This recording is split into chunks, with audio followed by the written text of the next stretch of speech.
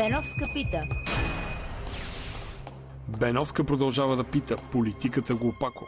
Отговарят. За върховенството на закона. Георги Чулаков, председател на Върховният административен съд.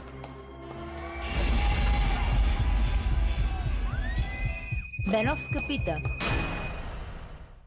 И продължаваме нататък с следващия Георги.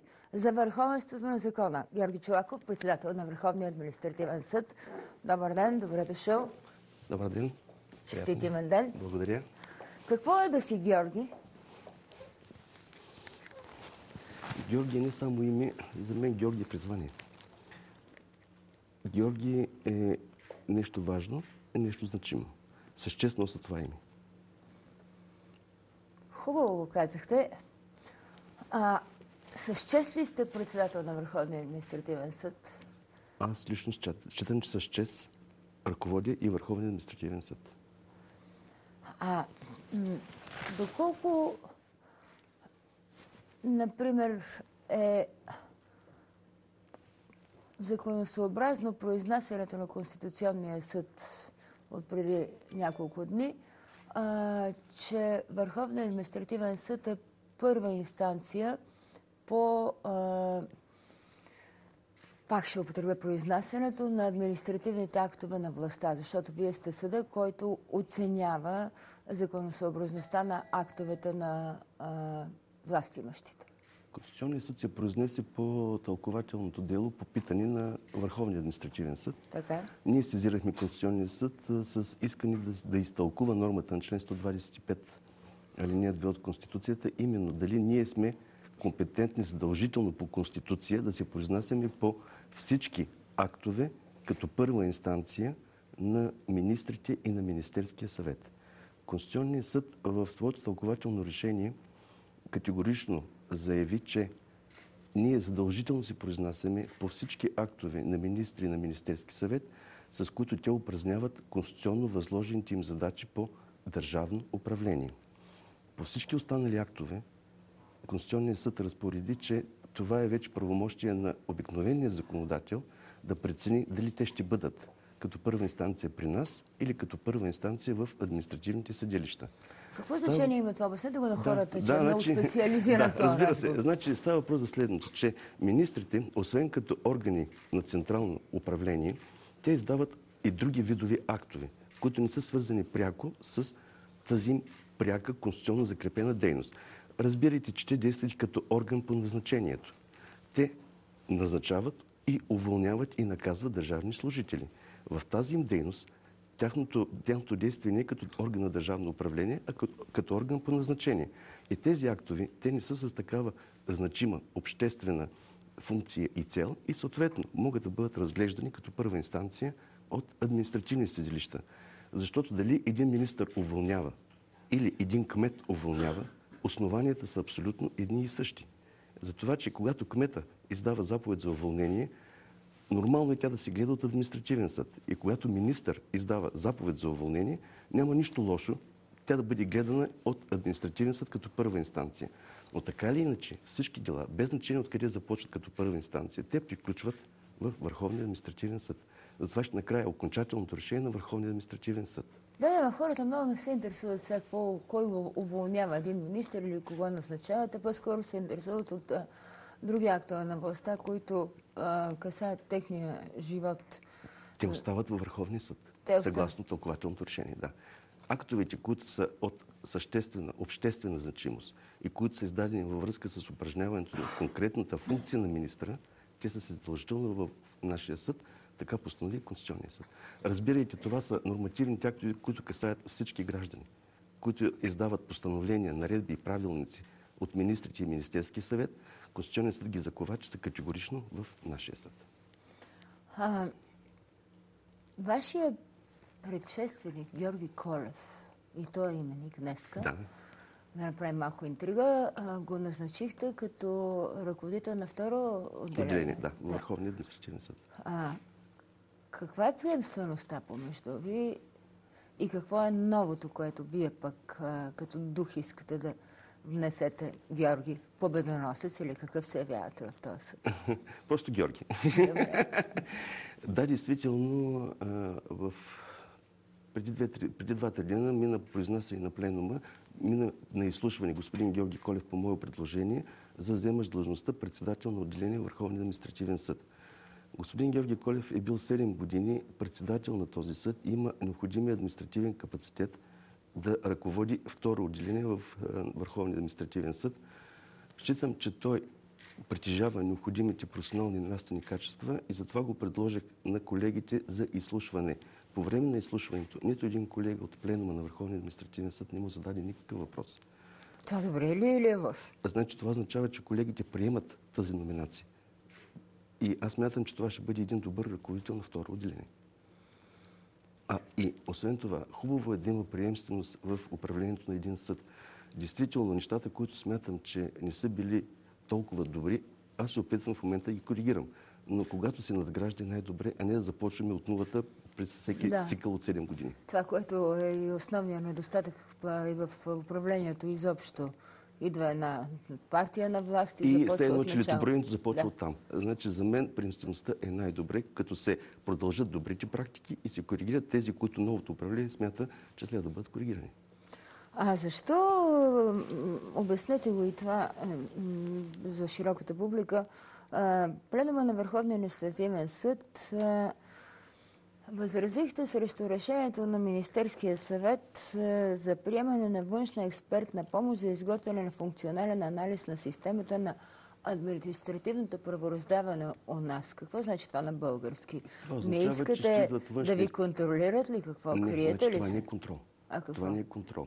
Значи това е, е поискана е помощ от външни експерти, които да дойдат да направят пълен анализ на състоянието само на административното правораздаване и съответно да предприемат съответните структурни мерки и реформи в това И правораздаване. какво лошо има в това? Значи, първо, аз смятам, че не може да се прави... Знаете, че имаше експертна помощ За и аудит, да го кажа за прокуратурата. Да, значи а, нашите съображения са следните. Първото ни основното съображение е, че ако се прави такъв одит и такава оценка, тя трябва да бъде правена на цялата съдебна система. Не може да бъде правена такава оценка и такъв анализ само на една малка част от тази система. Защото? Защото няма да бъде даден правилни и разумни резултати. Ако не се види цялата система отгоре като цяло, не могат да се направят изводи дали в административното правораздаване има проблеми или в общото правораздаване. Второто, което има значение и което нали, ни накара ние да действаме по този начин е, че Министерския съвет е поискал такъв анализ и за общия, и за административния съд. Но анализ за общия съд няма да се прави. Защо? Еми така са решили хората, които вземат такива решения. Кои сте хора? Това са комисията, която ще провежда тази, този анализ. Каква е тази комисия? Комисия за структурен анализ към Европейската комисия. Той са външни Външните експерти, които ще идват. да. Така или Но иначе... защо са решили така? Еми, Нали сме под когато беше първата- по този механизъм когато беше, когато беше първата среща с а, тази работна група, те заявиха, че просто са отхвърлили този проект. Останал само проекта за административното правораздаване. А, административното правораздаване вече съществува повече от 10 години. 11 години направихме тази година и вчера излезаха окончателните резултати за натовареността. Административното правораздаване е на второ място, далеч преди окръжните и апелативните съдилища. Административното Първи е кой? Районните съдилища с най-натоварени, нали, като, е, като бройка на човек от самата Не ги ли съдебна надминава система. градския? Не, говорим като цяло, в цялата страна. Това е е една снимка на цялото правораздаване в цялата страна, като средната натовареност на административните съдии достига до 20 дела на месец, което си е една добра натовареност. Проблема при нас е единствено и само голямата натовареност на Върховния съд и неравномерното натоварване на административните съдилища.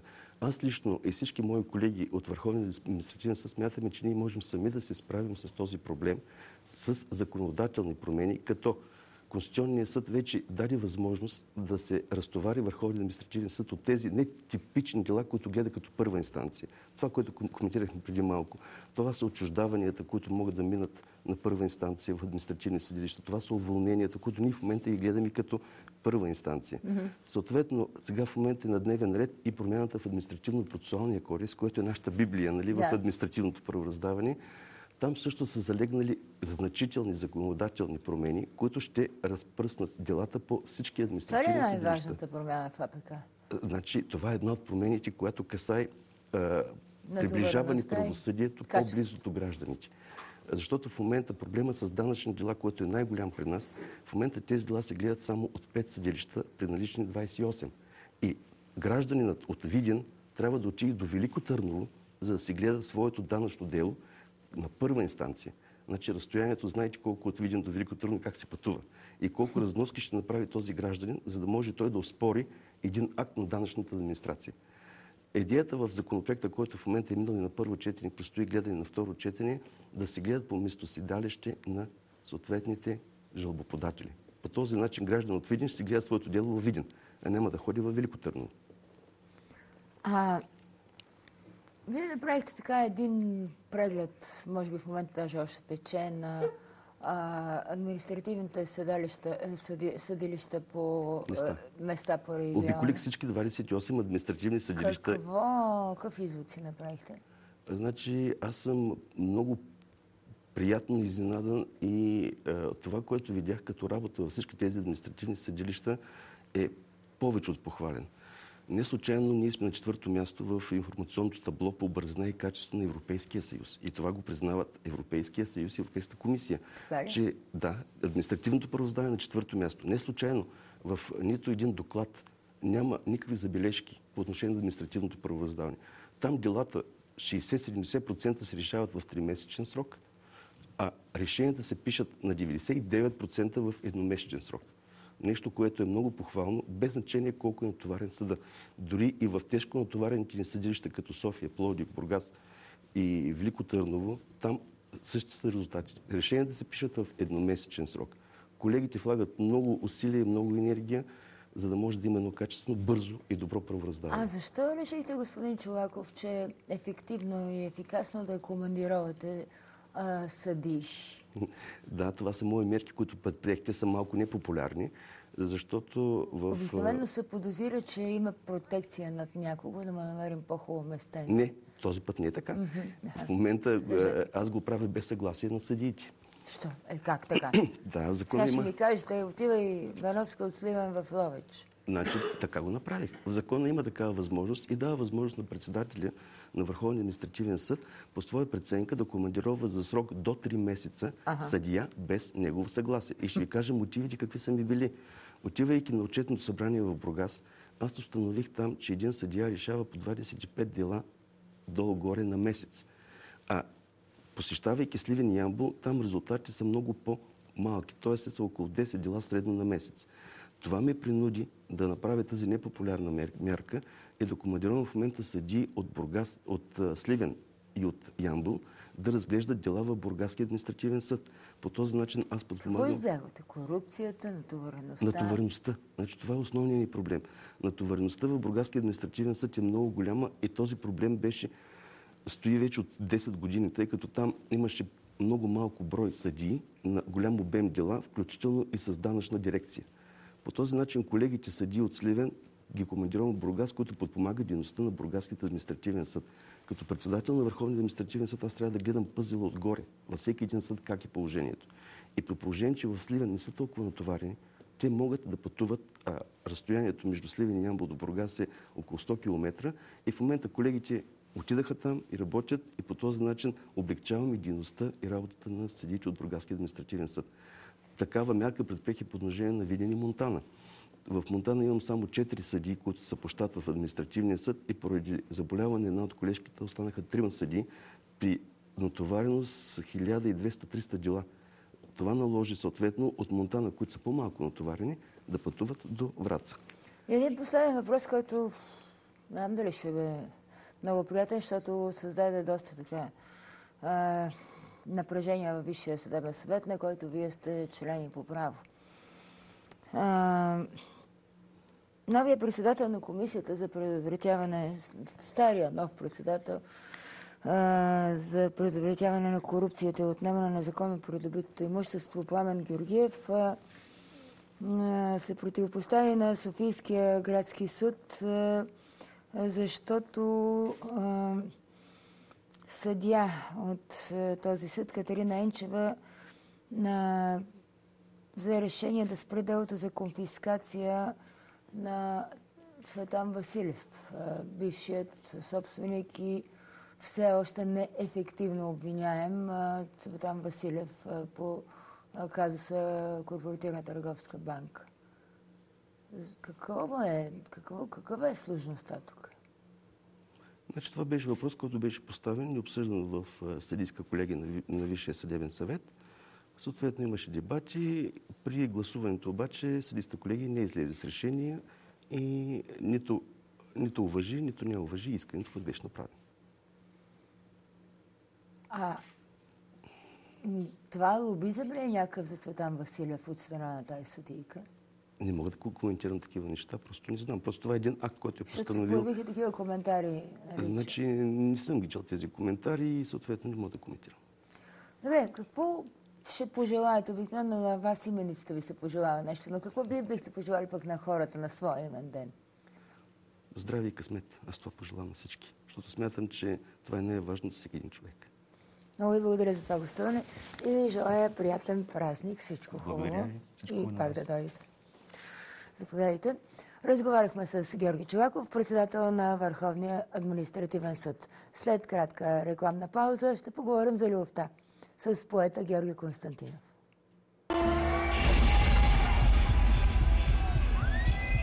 Беновска пита.